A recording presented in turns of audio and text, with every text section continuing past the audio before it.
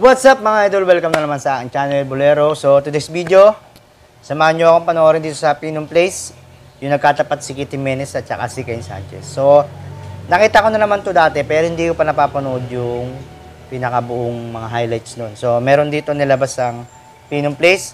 So ngayon papanoorin ko para malaman ko rin kung ano yung laro dati ni Ken Sanchez. So sa, samahan nyo ako, tingnan natin kung sino yung mga hindi pa nakapanood nito, samahan nyo ako. So tara! Game!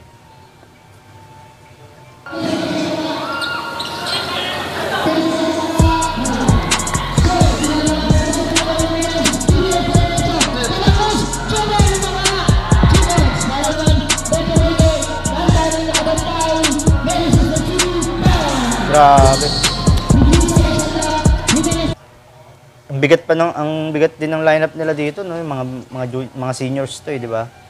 Si Coach Kit, si Bambam. Saka medyo malaki yung lineup din nila dito, tsaka mga ano na talaga. Mga veterano na kumbaga.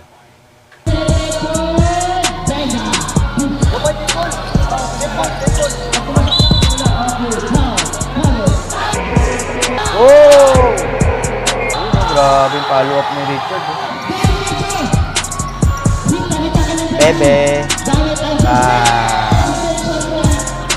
Hatch against Sanchez. Iwan. Oh! Grabe, binalik. Grabe yun, no?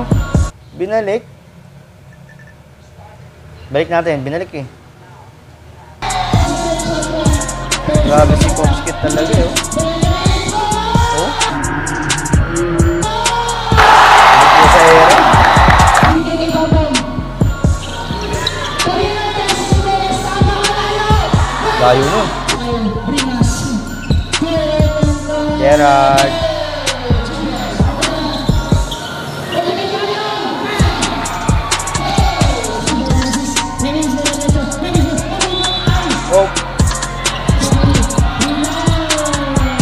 Si Ken. Wala masyadong highlights si Ken. Ayun. Oy, la- lakas. Uy, tinulak. Tinangga.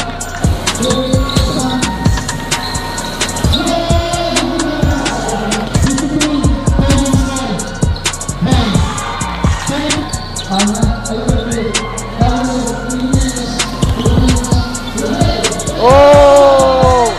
Pass. Uncle Joey. Ah, si Kent na nagbabantay sa kanya.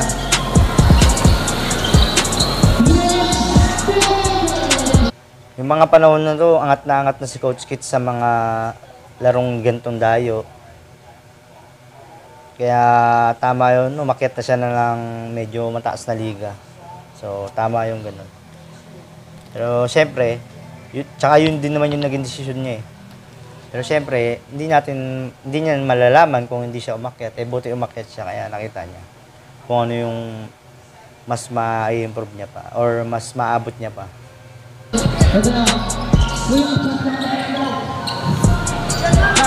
Wala masyadong highlight si. Oh! Oh! Oy! Finish. Walang dun. ah. Nice pass.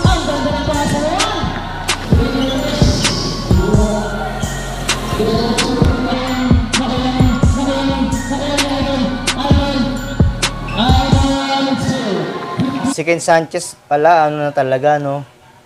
Kumbaga, ang laro niya, buo na talaga yung loob. Sanay na sanay na siya sa laro mga malalaking laro.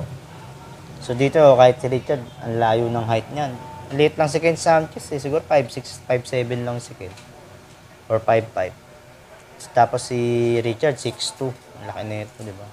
Medyo sanay na siya, kumbaga. Kasi pagka nakalaro ka ng medyo malaki sa'yo, at hindi ka pa na, bihira ka maka-experience ng ganyan, or first time makalaro ng ganyang height, medyo may ilang ka eh. Mailang ka, matatakot ka sumalaksa kasi matatapal ka.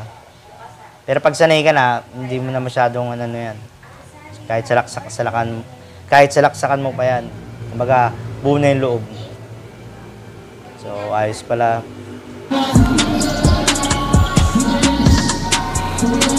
Ah.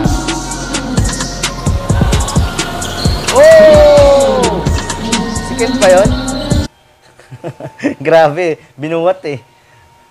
Alam ni, alam ni Coach Kit na lamang na lamang siya eh. Si Ken Sanchez yata yun eh.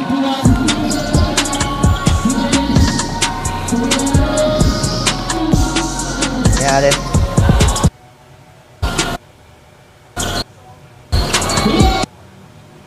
Si Ken Sanchez yun? Ay, parang hindi. Naka knee support eh. Grabe, binadi. Tapos, no, hinang time, no? Veterano na talaga eh. Sanay na. Uy, kinapitan. Ayun, nabangga.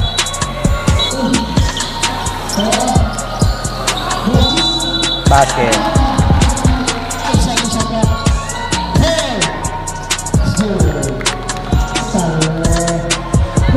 Ah, si Ken Sanchez nga yun, yung binadi-body niya, naka-knee, naka-knee support eh. Si Ken Sanchez nga yung binadi ni Coach Kit, tapos nag-hang time. Ito, na, free throw niya, naka-knee, naka-knee support.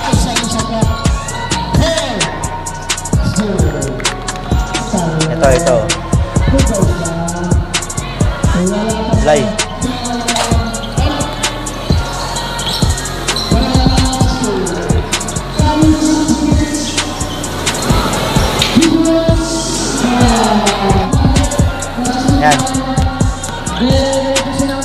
Oo, sanay na talaga eh.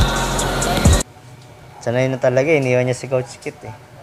So, kaya pala hanggang ngayon, pag ngayon, tit, papanood mo si Ken Sanchez, talagang ano na, ano, parang sanay na sanay na. Kahit sino pa makalaban. Kumbaga buo na yung loob. So, magaling na pala talaga dati pa si Ken Sanchez.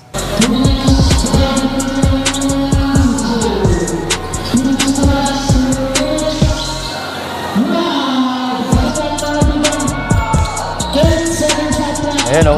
Grabe oh.